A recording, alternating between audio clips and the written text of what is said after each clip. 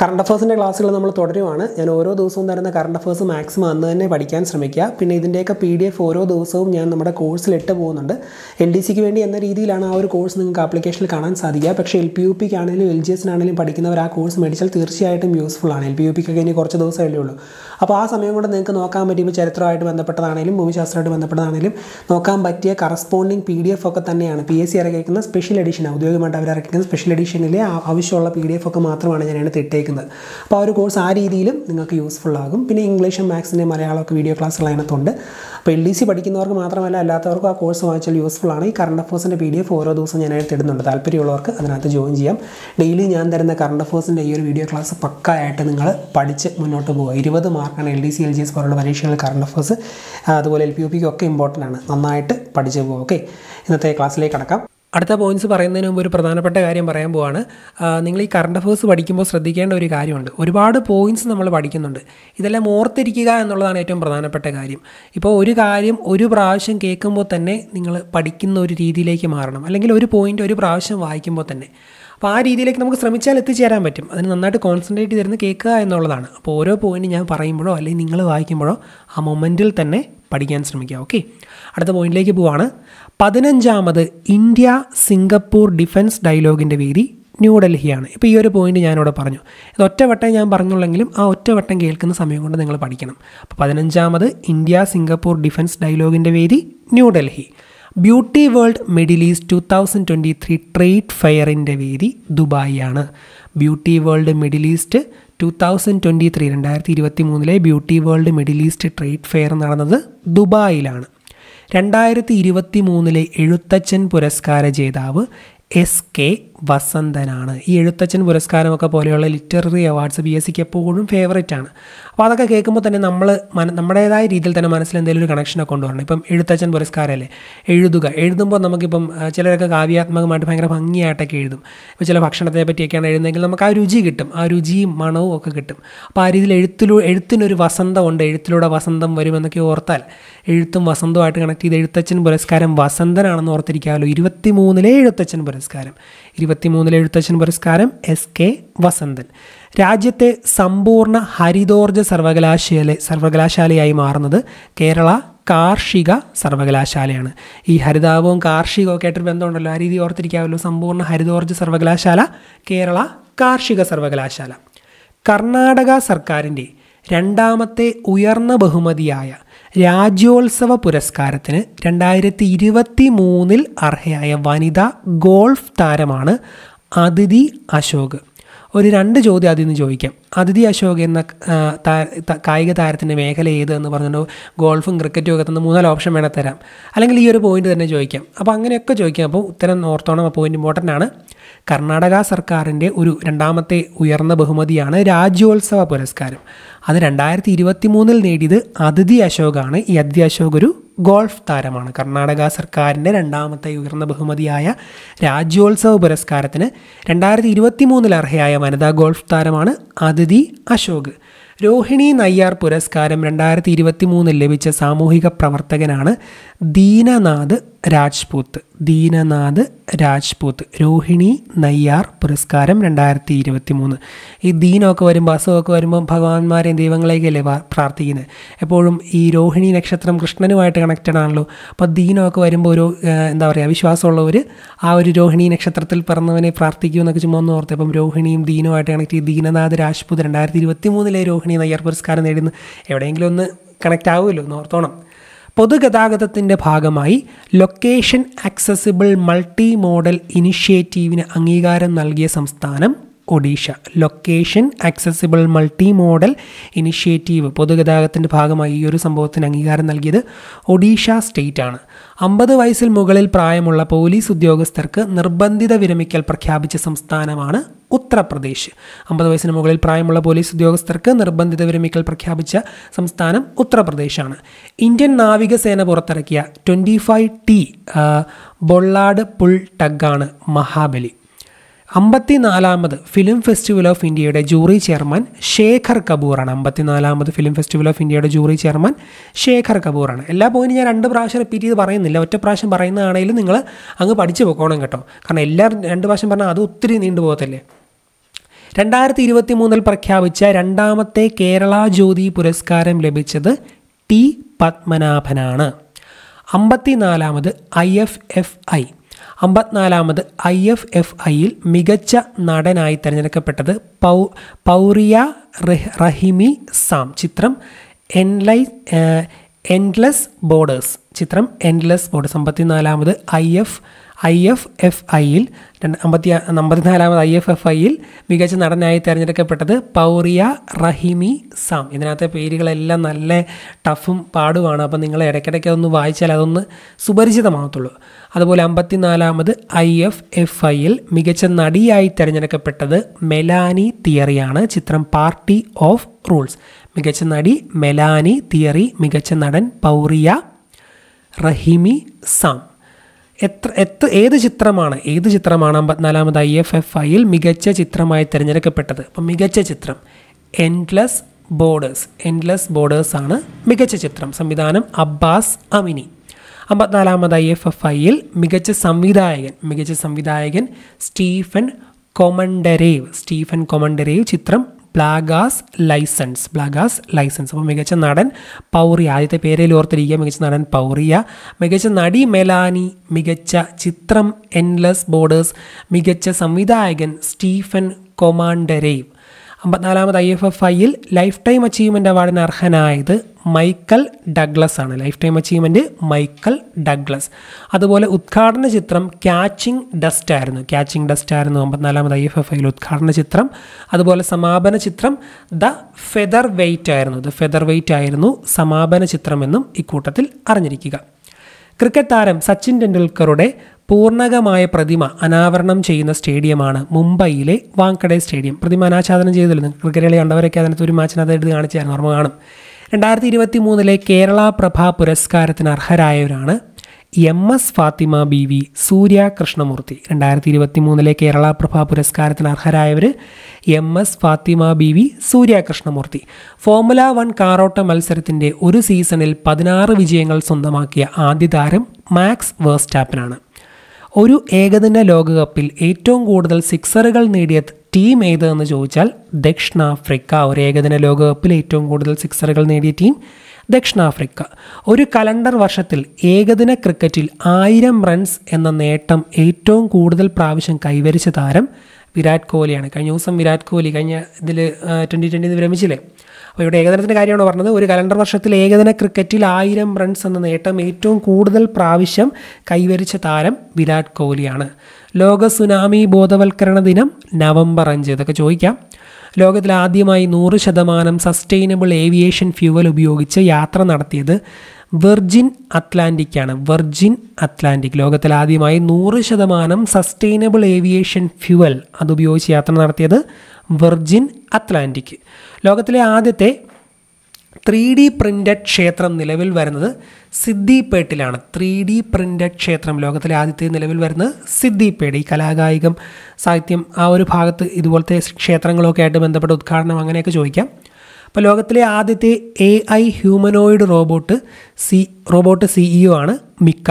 ലോകത്തിലെ ആദ്യത്തെ artificial intelligence humanoid robot CEO ആണ് മിക്ക. ഇനിയിപ്പോൾ എല്ലാം എ ആയി മാറും ജോലിക്കാരും ഇല്ല. ലോകത്തിലെ ഏറ്റവും വലിയ single site solar power plant നിലവിൽ വരുന്നത് യു എയിലാണ് ലോകത്തിലെ ഏറ്റവും വലിയ single site solar power plant U എയിലാണ് നിലവിൽ വരുന്നത്. രണ്ടായിരത്തി ഇരുപത്തി മൂന്നിൽ അന്തരിച്ച കഥകളി സംഗീതജ്ഞനാണ് ചേർത്തല തങ്കപ്പ പണിക്കർ. രണ്ടായിരത്തി ഇരുപത്തി മൂന്നിൽ അന്തരിച്ച കഥകളി സംഗീതജ്ഞൻ ചേർത്തല തങ്കപ്പ പണിക്കർ. കൊച്ചി പോർട്ട് അതോറിറ്റിയുടെ പുതിയ ചെയർമാനാണ് ബി കാശി വിശ്വനാഥൻ. രണ്ടായിരത്തി ഇരുപത്തി മൂന്നിൽ കൊച്ചിൻ പോർട്ടിന്റെ പുതിയ ചെയർമാനായി നിയമിതനായത് കാശി വിശ്വനാഥനാണ്. കെ ടി ഡി എഫ് സിയുടെ കെ ടി ഡി എഫ് സിയുടെ K T D F C K T D F സിയുടെ പുതിയ ചെയർമാൻ ബിജു പ്രഭാകറാണ്. കെ ടി ഡി എഫ് സിയുടെ പുതിയ ചെയർമാനായി രണ്ടായിരത്തി ഇരുപത്തി മൂന്നിൽ നിയമിതനായത് ബിജു പ്രഭാകർ. ശ്രീ സോമനാഥ് ട്രസ്റ്റിന്റെ പുതിയ ചെയർമാനായി തിരഞ്ഞെടുക്കപ്പെട്ടത് നരേന്ദ്രമോദിയാണ്. ശ്രീ സോമനാഥ് ട്രസ്റ്റിന്റെ പുതിയ ചെയർമാൻ നരേന്ദ്രമോദി. പ്രാദേശിക ഉൽപ്പന്നങ്ങൾ ജി ഐ ടാഗ് ലഭിച്ച ഉൽപ്പന്നങ്ങൾ എന്നിവയെ പ്രോത്സാഹിപ്പിക്കാനുള്ള കേരളത്തിലെ യൂണിറ്റി മാൾ നിലവിൽ വരുന്നത് ടെക്നോ പാർക്കിലാണ്. റിപ്പബ്ലിക്കിന്റെ ഭാവി എന്ന പുസ്തകം രചിച്ചത് എം ബി രാജേഷാണ് റിപ്പബ്ലിക്കിന്റെ ഭാവി M B Rajesh. I I T മദ്രാസിന്റെ ആദ്യ അന്താരാഷ്ട്ര ക്യാമ്പസ് ആരംഭിച്ചത് സാൻസിബാറിലാണ്. ഐ ഐ ടി മദ്രാസിന്റെ ആദ്യ അന്താരാഷ്ട്ര ക്യാമ്പസ് ആരംഭിച്ചത് സാൻസിബാറിൽ. Lifetime disturbing the peace award രണ്ടായിരത്തി ഇരുപത്തി മൂന്നിൽ ലഭിച്ചത് Salman റുഷ്ദിക്കാണ്. Lifetime disturbing the peace award ലഭിച്ചത് സൽമാൻ റുഷ്ദി രണ്ടായിരത്തി ഇരുപത്തി മൂന്നിൽ Collins dictionary word of the year ആയി തിരഞ്ഞെടുക്കപ്പെട്ടത് artificial ഇന്റലിജൻസിനെയാണ്. Collins dictionary word of the year ആയി രണ്ടായിരത്തി ഇരുപത്തി മൂന്നിൽ തിരഞ്ഞെടുത്തത് artificial intelligence. British academy book prize രണ്ടായിരത്തി ഇരുപത്തി മൂന്നിൽ ലഭിച്ചത് നന്ദിനി ദാസിനാണ്. ബ്രിട്ടീഷ് അക്കാദമി ബുക്ക് പ്രൈസ് രണ്ടായിരത്തി ഇരുപത്തി മൂന്ന് നന്ദിനി ദാസിനാണെന്ന് ഓർത്തിരിക്കുക. നമോ ഭാരത് കോച്ചുകൾ രൂപകൽപ്പന ചെയ്ത ഫ്രഞ്ച് കമ്പനിയാണ് ആൽസ്റ്റോം. നമോ ഭാരത് കോച്ചുകൾ ആൽസ്റ്റോം എന്ന ഫ്രഞ്ച് കമ്പനിയാണ് രൂപകൽപ്പന ചെയ്തത്. ഏറ്റവും വേഗത്തിൽ ഇരുപത്തിയാറായിരം റൺസ് തികച്ച സച്ചിൻ ടെണ്ടുൽക്കറുടെ റെക്കോർഡ് തകർത്തത് വിരാട് കോഹ്ലിയാണ്. റിക്കി പോണ്ടിങ് ഇരുപത്തേഴായിരം നാനൂറ്റി എൺപത്തി മൂന്ന് റൺ എന്നൊക്കെ പറഞ്ഞ് ഓരോരുത്തരുടെയും റണ്ണ് കൊടുത്തിട്ടുണ്ട്. അവർ നേടിയേക്കുന്ന റണ്ണ് അതൊന്നും ഓർത്തിരുന്നില്ലെങ്കിലും കുഴപ്പമില്ല. ഒരുപക്ഷെ സ്പോർട്സിലൊക്കെ ചോദിക്കാം. കറണ്ട് അഫേഴ്സ് എന്തായാലും അങ്ങനെ ഇറക്കി പോകണമെങ്കിൽ ചോദിക്കാൻ സാധ്യതയില്ല. ഇപ്പോൾ ഏറ്റവും വേഗത്തിൽ ഇരുപത്താറായിരം റൺസ് തികച്ച് സച്ചിൻ ടെണ്ടുൽക്കറുടെ റെക്കോർഡ് തകർത്തത് വിരാട് കോഹ്ലിയാണ്. ഈ സാക്ഷി പോർട്ടലിലൂടെ രാജ്യത്താദ്യമായി കരാറുകാർക്ക് തുക ഓൺലൈനായി മാറി നൽകിയ ലോക്സഭാ മണ്ഡലമാണ് കോട്ടയം.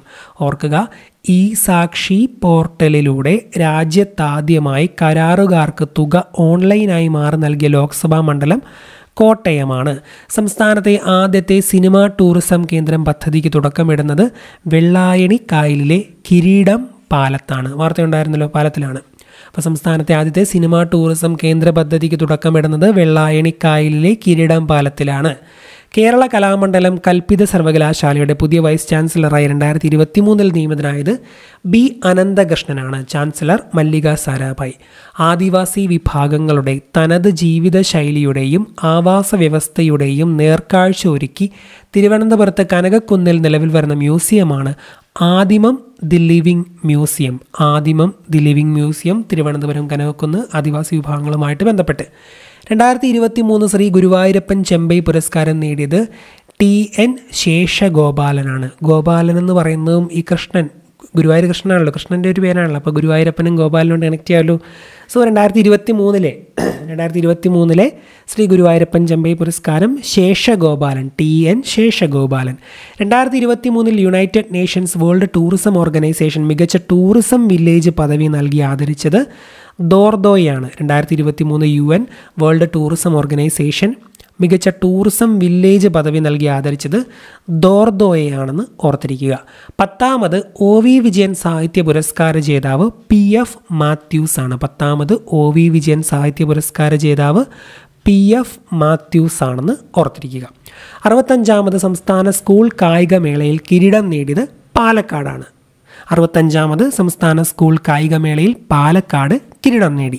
സൈബർ തട്ടിപ്പുകൾ തടയുക എന്ന ലക്ഷ്യത്തോടെ രണ്ടായിരത്തി ഇരുപത്തി മൂന്ന് ഒക്ടോബറിൽ സി ബി ഐ നടത്തിയ പരിശോധനയാണ് operation Chakra two operation Chakra two എന്നത് ഏത് മേഖലയുമായി ബന്ധപ്പെട്ടിരിക്കുന്നു എന്ന രീതിയിൽ നാല് സ്റ്റേറ്റ്മെന്റ് ഒക്കെ തരാം ഓർത്തോളുക സൈബർ തട്ടിപ്പുകൾ തടയുക എന്ന ലക്ഷ്യത്തോടെ രണ്ടായിരത്തി ഇരുപത്തി മൂന്നിൽ സി ബി ഐ നടത്തിയ ഒരു പരിശോധനയാണ് ഓപ്പറേഷൻ ചക്ര ടു രണ്ടായിരത്തി ഇരുപത്തി മൂന്ന് പാരാ ഏഷ്യൻ ഗെയിംസ് നടന്നത് ഷാങ്ഷുവിലാണ്. രണ്ടായിരത്തി ഇരുപത്തി മൂന്ന് പാരാ ഏഷ്യൻ ഗെയിംസിന്റെ വേദി ഷാങ്ഷു.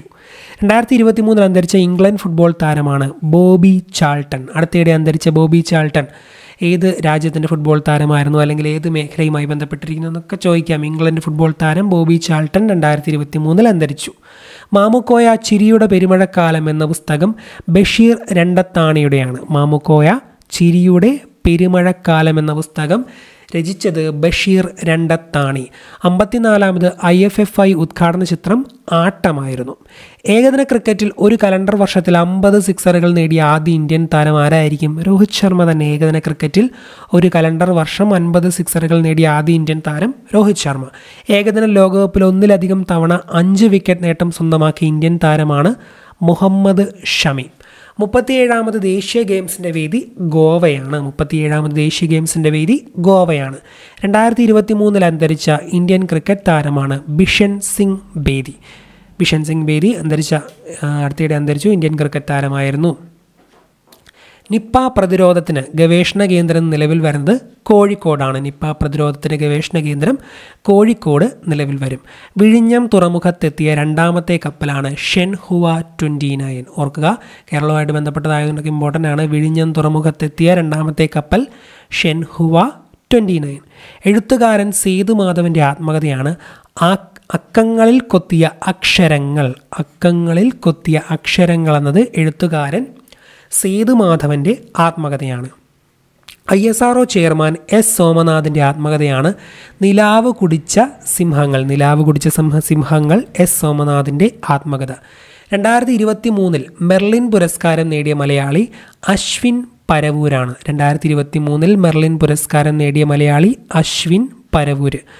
ആയിരത്തി തൊള്ളായിരത്തി എൺപത്തി നാലിലെ ഭോപ്പാൽ വാതക ചോർച്ച ആധാരമാക്കി പുറത്തിറക്കുന്ന web സീരീസാണ് the railway men. The railway men എന്നത് ദ റെയിൽവേ മെൻ എന്നത് എൺപത്തിനാലിലെ ഭോപ്പാൽ ട്രാജഡിയുമായി ബന്ധപ്പെട്ടിറങ്ങുന്ന വെബ് സീരീസാണ് എന്ന് ഓർത്തിരിക്കുക. ഏകദിന ക്രിക്കറ്റ് ലോകകപ്പിലെ ഏറ്റവും വേഗമേറിയ സെഞ്ചുറി നേടിയത് ക്ലെൻ മാക്സ്വെൽ ആണ് നെതർലൻഡിനെതിരെ നാൽപ്പത് പന്തിലാണ് അദ്ദേഹം സെഞ്ചുറി നേടിയത്. വൺ ഡേ ഇന്റർനാഷണൽ ക്രിക്കറ്റിലെ ഏറ്റവും വേഗത്തിലെ ഉള്ള സെഞ്ചുറി ക്ലെൻ മാക്സ്വെൽ ആണ് നേടിയത്. നെതർലാൻഡ്സിനെതിരെ നാൽപ്പത് പന്തിൽ അദ്ദേഹം സെഞ്ചുറി കുറിച്ചു. ഇന്ത്യൻ വനിതാ ക്രിക്കറ്റ് ടീമിന്റെ മുഖ്യ പരിശീലകനായി ചുമതലയേറ്റത് അമോൽ മജുംദാരാണ്. ഇന്ത്യൻ വനിതാ ക്രിക്കറ്റ് ടീമിന്റെ മുഖ്യ പരിശീലകൻ അമോൽ മജുംദാർ. ഏകദിന ലോകകപ്പിലെ ആദ്യ കൺ കൺകഷൻ സബ്സ്റ്റിറ്റ്യൂട്ടാണ് ഉസാമ മിർ ഉസാമ മിർ. കുന്നംകുളത്ത് നടന്ന സംസ്ഥാന സ്കൂൾ കായികമേളയിൽ കിരീടം നേടിയത് പാലക്കാടാണ് എന്ന് ഓർത്തിരിക്കുക.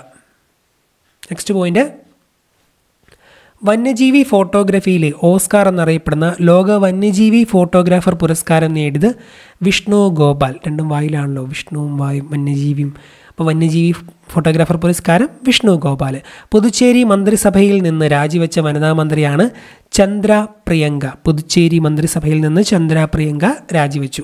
ദേശീയ ടീം ബോർഡ് ചെയർമാനായി നിയമിതനായത് അമർദീപ് സിംഗ് ഭാട്ടിയാണ്. പുരുഷന്മാരുടെ നൂറ് മീറ്റർ ഓട്ടത്തിൽ ദേശീയ റെക്കോർഡിട്ട താരം എച്ച് എച്ച് മണികണ്ഠയാണ്. പുരുഷന്മാരുടെ നൂറ് മീറ്റർ ഓട്ടത്തിൽ ദേശീയ റെക്കോർഡിട്ടു എച്ച് എച്ച് മണികണ്ഠ. രണ്ടായിരത്തി ഇരുപത്തി മൂന്നിൽ അന്തരിച്ച ചലച്ചിത്ര നിർമ്മാതാവും മാതൃഭൂമി ഫുൾ ടൈം ഡയറക്ടറുമായ വ്യക്തിയാണ് P V Gangadharan.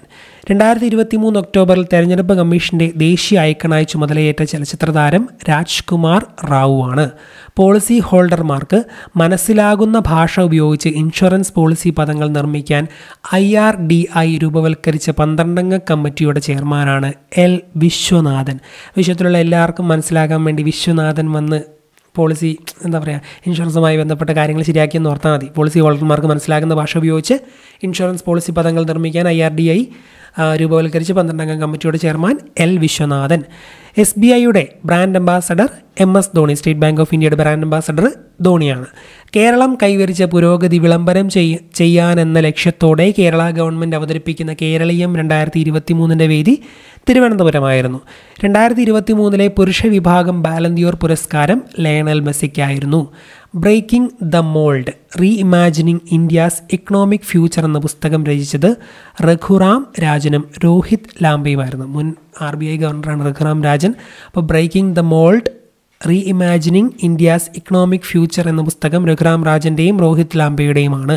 India's experiment with democracy എന്ന പുസ്തകം എസ് വൈ ഖുറോ ഖുറേഷ്യയുടെയാണ് ഇന്ത്യാസ് എക്സ്പെരിമെന്റ് വിത്ത് ഡെമോക്രസി എന്ന പുസ്തകം എസ് വൈ ഖുറേഷ്യയുടെയാണ് ആപ്പിൾ ഐഫോൺ നിർമ്മിക്കുന്ന ആദ്യ ഇന്ത്യൻ കമ്പനിയാണ് Tata electricals private limited. Tata electricals private limited ആണ് ആപ്പിൾ ഐഫോൺ നിർമ്മിക്കുന്ന ആദ്യ ഇന്ത്യൻ കമ്പനി. ഇരുപത്തി ഒമ്പതാമത് കൊൽക്കത്ത ഫിലിം ഫെസ്റ്റിവലിൽ പ്രദർശിപ്പിച്ച മാർക്കോടി ഭാഷയിലുള്ള ചിത്രമാണ് ഓംകാര.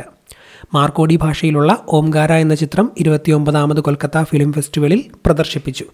രണ്ടായിരത്തി ഇരുപത്തി മൂന്നിലെ വനിതാ വിഭാഗം ബാലന്തിയോർ പുരസ്കാരത്തിന് അർഹയായ സ്പാനിഷ് ഫുട്ബോളറാണ് ഐത്താന ബോൻമാട്ടി. രണ്ടായിരത്തി ഇരുപത്തി മൂന്നിലെ വനിതാ വിഭാഗം ബാലന്തിയോർ ഐത്താന ബോൻമാട്ടിക്ക്. മികച്ച സ്ട്രൈക്കർക്കുള്ള goal Gerd Muller Gerd Muller ട്രോഫിക്ക് എർലിംഗ് ഹാലൻഡ് അർഹനായി. മികച്ച സ്ട്രൈക്കർക്കുള്ള ഗർട്ട് മുള്ളർ ട്രോഫിക്ക് എർലിംഗ് ഹാലൻഡ് അർഹനായി. ഏറ്റവും മികച്ച യുവതാരത്തിലുള്ള കോപ്പ ട്രോഫി നേടിയത് ജൂഡ് ബെല്ലിംഗ്ഹാമാണ്. ഇംഗ്ലണ്ടിന്റെ ജൂഡ് ബെല്ലിംഗ്ഹാമാണ് ഏറ്റവും മികച്ച യുവതാരത്തിനുള്ള കോപ്പ ട്രോഫി നേടിയത്. യാഷിൻ ട്രോഫി നേടിയത് എമിലിയാനോ മാർട്ടിനസ്. യാഷിൻ ട്രോഫി രണ്ടായിരത്തി ഇരുപത്തി മൂന്നിൽ Emiliano Martinez. Mera Hou Chongba festival ആഘോഷിച്ച സംസ്ഥാനം മണിപ്പൂരാണ്. ഇതൊക്കെ ഇങ്ങനത്തെയൊക്കെയുള്ള ഇടയ്ക്ക് ചോദിക്കാറുണ്ട്. മേര ഹൗ ചോങ്ബ എന്ന ഫെസ്റ്റിവൽ മണിപ്പൂർ രാജ്യത്തെ രാഷ്ട്രീയ കക്ഷികളിൽ ഇരുപത്തൊന്ന് ഇരുപത്തിരണ്ടിലെ കണക്ക് പ്രകാരം ഏറ്റവും കൂടുതൽ ആസ്തിയുള്ളത് B J പിക്കാണ്. Six zero four six point eight one കോടി രൂപയാണ് ആ ടൈമിലെ ആസ്തി. ഇരുപത്തി അഞ്ചിലെ ലോക അത്ലറ്റിക് ചാമ്പ്യൻഷിപ്പിന്റെ വേദി ടോക്കിയോ ആണ് രണ്ടായിരത്തി ഇരുപത്തി അഞ്ചിലെ ലോക അത്ലറ്റിക് ചാമ്പ്യൻഷിപ്പിന്റെ വേദി ടോക്കിയോ. ഇന്ത്യയിലെ ആദ്യത്തെ സാറ്റലൈറ്റ് അധിഷ്ഠിത ജിഗാബൈറ്റ് ബ്രോഡ്ബാൻഡ് സേവനം ആരംഭിച്ചത് ജിയോ സ്പേസ് ഫൈബറാണ് ഇന്ത്യയിലെ ആദ്യത്തെ സാറ്റലൈറ്റ് അധിഷ്ഠിത ജിഗാബൈറ്റ് ബ്രോഡ്ബാൻഡ് സേവനം ആരംഭിച്ചത് ജിയോ സ്പേസ് ഫൈബറാണ് കെ ഫോൺ എന്നതിന്റെ പൂർണ രൂപമാണ് കേരള ഫൈബർ ഒപ്റ്റിക് നെറ്റ്വർക്ക്. രണ്ടായിരത്തി ഇരുപത്തി മൂന്ന് ജൂൺ അഞ്ചിനാണ് പദ്ധതി ഉദ്ഘാടനം ചെയ്തത്. ഒരു ഒരു രാജ്യാന്തര മൾട്ടി സ്പോർട്സ് മേളയിൽ ഇന്ത്യ ഏറ്റവും വലിയ മെഡൽ കൊയ്ത്ത് നടത്തിയ മേളയാണ് Hang Hangzhou Asian para games Hangzhou Asian para ഗെയിംസിൽ നൂറ്റി പതിനൊന്ന് മെഡലാണ് ഇന്ത്യയ്ക്ക് ലഭിച്ചത്. Goa governor P S Sreedharan Pillai രചിച്ച ഇരുന്നൂറാമത്തെ പുസ്തകമാണ് വാമൻ വൃക്ഷകല. വാമൻ വൃക്ഷകല എന്നത് ശ്രീധരൻപിള്ള രചിച്ച ഇരുന്നൂറാമത്തെ പുസ്തകമാണ്. ഏഷ്യൻ പാരാ ഗെയിംസിൽ മെഡൽ പട്ടികയിൽ ഒന്നാമതെത്തിയ രാജ്യം ചൈനയാണ്. ജപ്പാനും ദക്ഷിണ കൊറിയയും അടുത്ത സ്ഥാനങ്ങളിൽ ഏഷ്യൻ പാരാ ഗെയിംസിൽ മെഡൽ പട്ടികയിൽ ഒന്നാമതെത്തിയത് ചൈനയാണ്. ഏഷ്യൻ പാരാ ഗെയിംസിൽ ചൈന എത്ര മെഡലാണ് നേടിയതെന്ന് ചോദിച്ചാൽ അഞ്ഞൂറ്റി ഇരുപത്തി ഒന്ന് ഇത്രയും കാര്യങ്ങളാണ് ഈ ഒരു വീഡിയോയിൽ ഉൾക്കൊള്ളിച്ചേക്കുന്നത്. കറണ്ട് അഫേഴ്സ് നന്നായിട്ട് പഠിച്ച് മുഴുവൻ മാർക്ക് മേടിക്കാൻ ശ്രമിക്കുക. നമ്മുടെ കോഴ്സ് വേണ്ടവർ ഹിയർ ദ നോട്ട്സ് എന്ന ആപ്പ് പ്ലേ സ്റ്റോറിൽ നിന്ന് ഡൗൺലോഡ് ചെയ്യുക. അല്ലെങ്കിൽ സ്ക്രീനിൽ കാണുന്ന ഈ ഒരു നമ്പറിൽ എൽ ഡി സി എന്ന് അല്ലെങ്കിൽ കറണ്ട് അഫേഴ്സ് കോഴ്സ് എന്ന് മെസ്സേജ് അയയ്ക്കുക. ഓക്കെ ഇത്രയും കാര്യങ്ങളാണ് ഈ ഒരു വീഡിയോയിൽ ഉൾക്കൊള്ളിച്ചേക്കുന്നത് നന്നായിട്ട് പഠിക്കുക മുഴുവൻ മാർക്കും കറണ്ട് അഫേഴ്സിന് മേടിക്കാൻ ശ്രമിക്കുക. നമ്മുടെ കോഴ്സ് ഇത്രയും കാര്യങ്ങളാണ് ഇന്നത്തെ ഈ ഒരു വീഡിയോയിൽ ഉൾക്കൊള്ളിച്ചേക്കുന്നത് ഈ കറണ്ട് അഫേഴ്സിന്റെ പി ഡി എഫ് നമ്മുടെ കോഴ്സിൽ ഇട്ടിട്ടുണ്ട്. കോഴ്സ് വേണ്ടവർ ഹിയർ ദ നോട്ട്സ് എന്ന ആപ്പ് ഡൗൺലോഡ് ചെയ്ത് ഒന്നെങ്കിൽ ആപ്ലിക്കേഷനിൽ നിന്ന് കോഴ്സ് മേടിക്കുക. അല്ലെങ്കിൽ സ്ക്രീനിൽ കാണുന്ന ഈ ഒരു നമ്പറിൽ വാട്സാപ്പിൽ കോഴ്സ് എന്ന് എൽ ഡി സി കോഴ്സ് എന്ന് മെസ്സേജ് അയക്കുക. എൽ ഡി സി അല്ല ഏത് ബി എസ് സി പരീക്ഷയ്ക്കാണെങ്കിലും അതിനകത്ത് ആവശ്യമായുള്ള കറണ്ട് അഫേഴ്സ് എല്ലാം ഈ ഒരു കോഴ്സ് ഇടുന്നുണ്ട്. താല്പര്യമുള്ളവർക്ക് ജോയിൻ ചെയ്യാം. എല്ലാവർക്കും നല്ലൊരു വിജയം ആശംസിക്കുന്നു. താങ്ക്